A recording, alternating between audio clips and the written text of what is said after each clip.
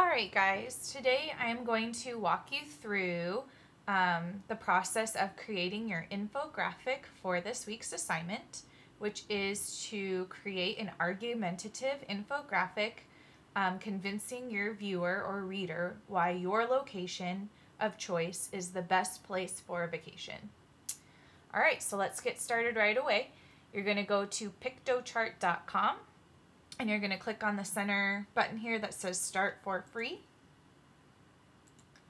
Once you click on that, it's going to ask you to create a username and password. Um, so um, your username should just be your SN number. Your email, I would recommend using your school email. If you don't know your school email, it is your first name, dot your last name, at Kent www.k12.wa.us. Again, it is your full first name dot last name at kent.k12.wa.us. And then just make your password the same password that you use to log into your computer. Um, and then make sure you unclick this button here that says subscribe to newsletters so that you don't get any spam. After you do that, click Create Account, and it will direct you to go to your email. If you decide to use a, your normal um, at-home email account, that is fine. But you're going to go to your email, your school email, find the email from Piktochart and click Confirm My Email. And that should take you back to the site. All right, so I'm going to log in differently because I already have an account.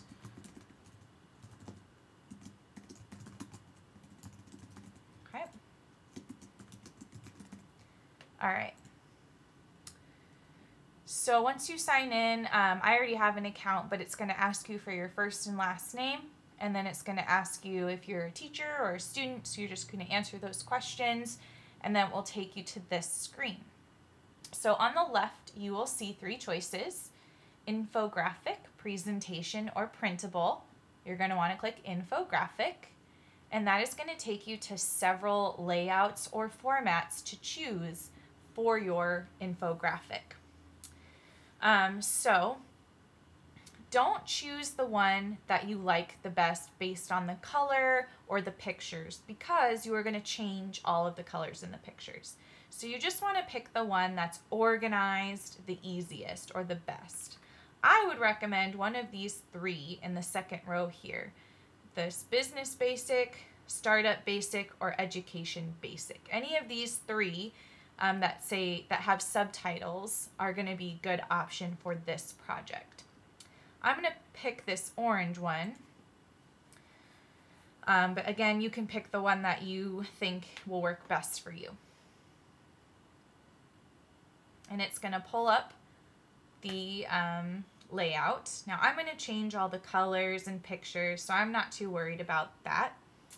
Um, what you will notice as you scroll through is there are several different sections. Each section that I highlight in black here is it's is a separate section of the graphic. Okay, so you see this section here, this section here, here, and here.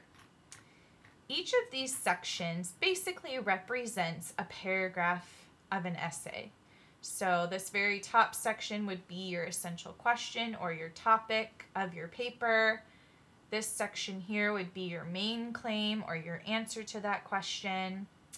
This section here that says subtitle of topic, this would be your subclaim and your evidence. Um, we're not going to have reasoning in this assignment. Then again, your this section here would be your second subclaim and evidence and so on, okay? So we're just going to work on one section at a time. So I'm going to start with this top section. So to start working on a section, you just click on that section and you will see this bar on the left. This indicates which section you are on. Right now I'm on section one, so it says one. Um, so to alter your section, you have some choices on the left side. Okay, you have graphics at the top, which is where you can insert pictures into your infographic, I would recommend mainly doing icons. Um, uploads we're not really going to use for this project, so you can ignore that one. You have background. You can change the color and design of your background. Text is if you need to add any text. I don't think most of the layouts you're going to need to add more text, but if you do, you can go here. And then the bottom one is tools, and I will show you tools in a little bit.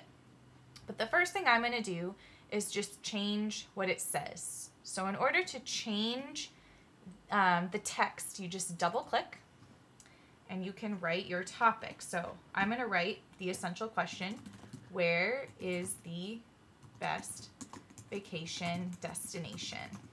Okay. If you would prefer to make this more of a statement instead of a question, you can. You could say the best vacation destination if you prefer.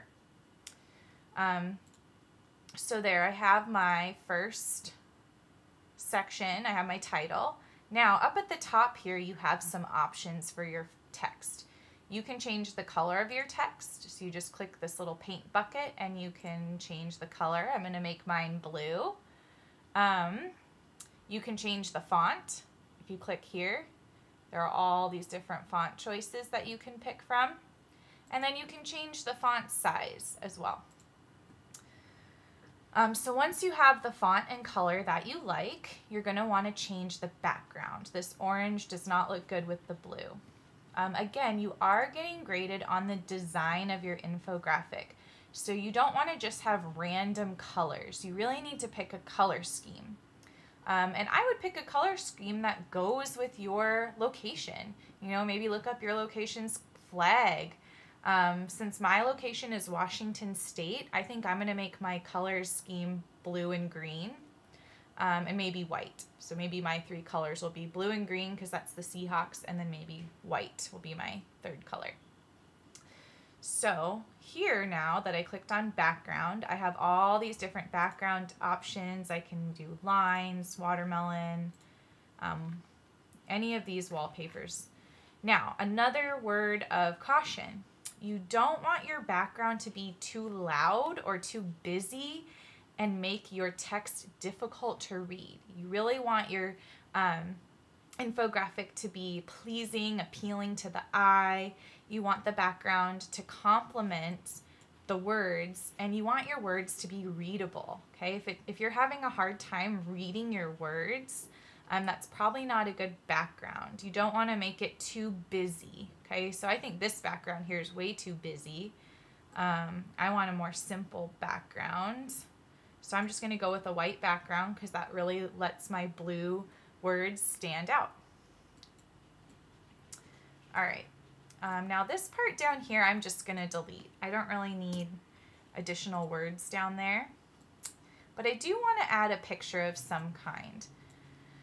And since Washington is the evergreen state. Maybe I'll go up here to graphics and go to icons and maybe I'll add a picture of a tree because trees are really uh, representative of Washington state. So I just click on the picture that I want and I can drag that there. Now this is really good. This picture is blue and green, which matches my color scheme.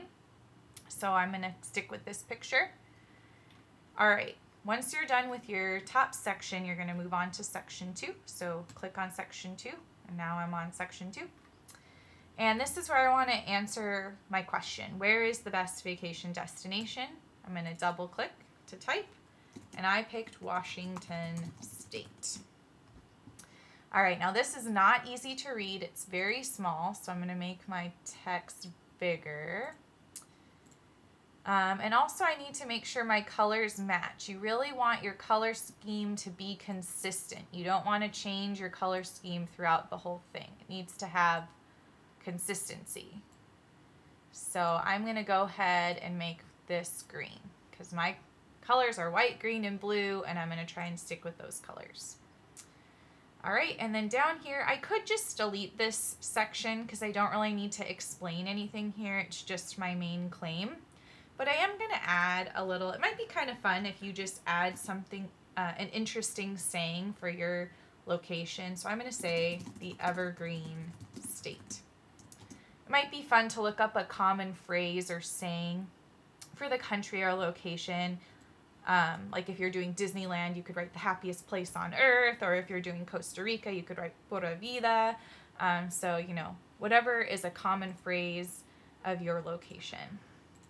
And also, this is very small. You want to make sure your font is big enough for your reader to be able to see easily.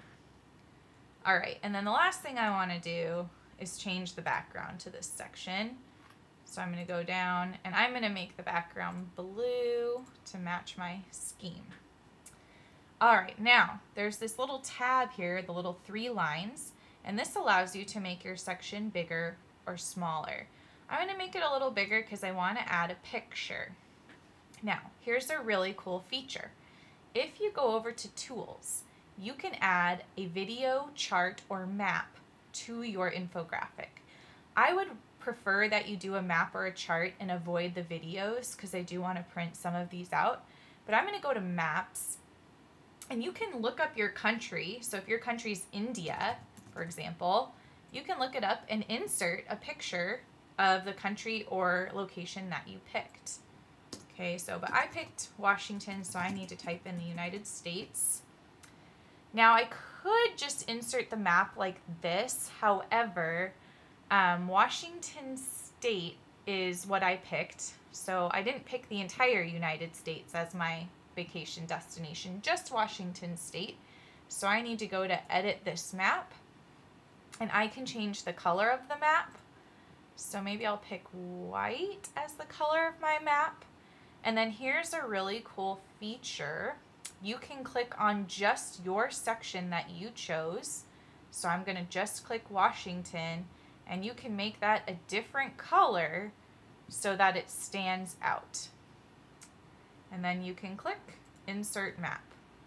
And it will insert a picture here of your location. So, whoops.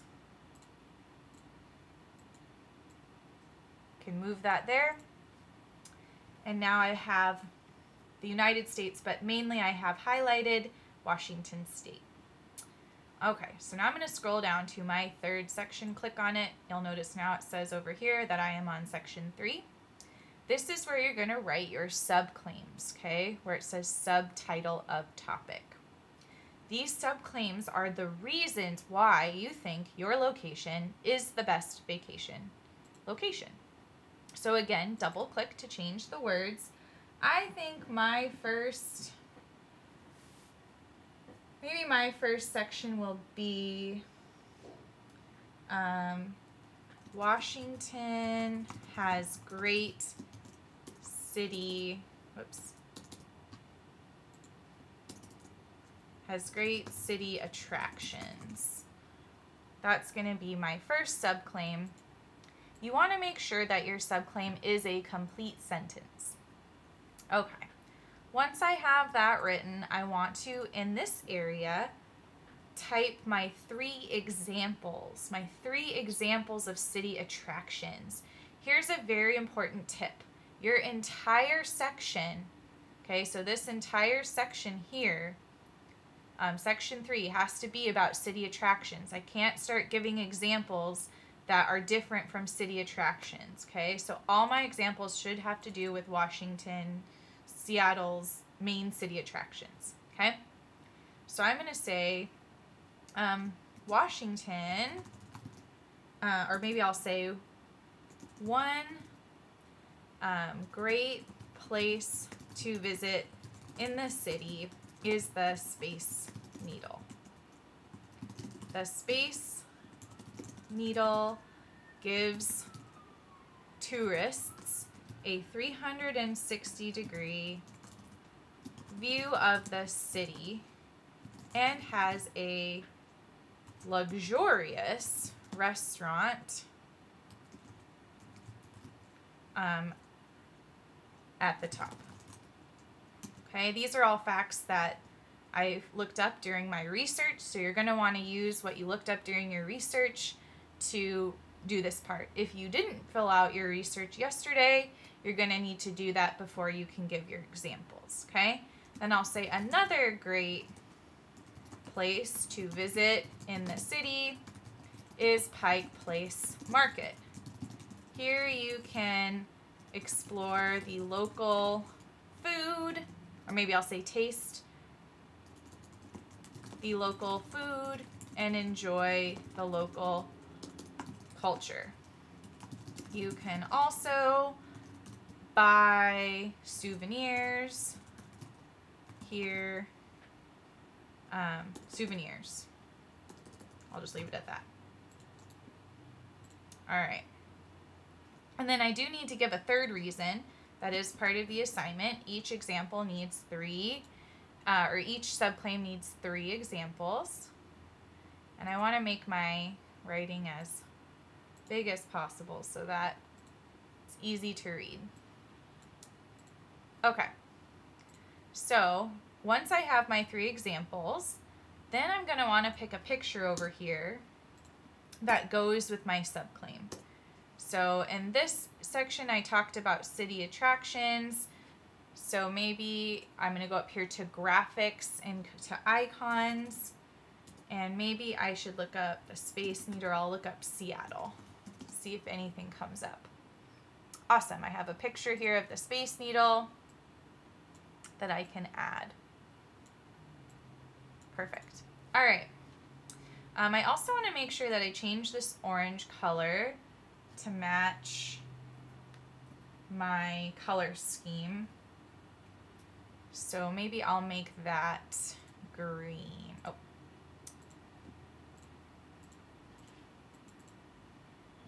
All right, there we go. Now it matches. Okay, now I'm gonna go down to this second one. And actually, um, if you look over here on the left, you have some choices. You can delete different sections and you can add different sections. Um, so I'm actually going to delete this section here because I really like this section here. I really like it because you can put your subtitle at the top or your subclaim, but then you can input three different pictures for each of your three examples. So I think that that's really cool. So I want to use this one for my second box, and I can always add another box later. Um, so I'm going to start by changing the background. Again, I'm going to do blue. All right, and my second subtitle is going to be, or my second subclaim is, there are many fun outdoor activities to do in Washington. Again, it needs to be a complete sentence. Okay? And this whole section is about outdoor activities. So everything that I put in here needs to be about act outdoor activities. All right. And I'm going to change my colors to green.